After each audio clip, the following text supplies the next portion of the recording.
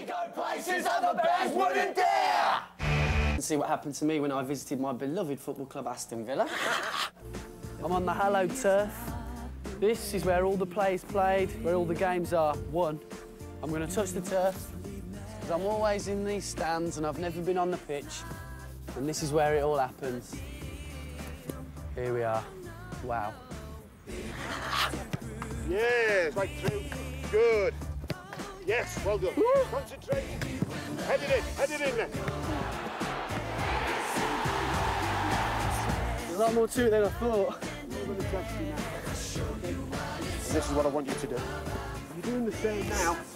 Okay, but all we're going to do is finish it with our head. So it's side on, side on, side on, round, round, round, round, round. Come and meet the ball. Then.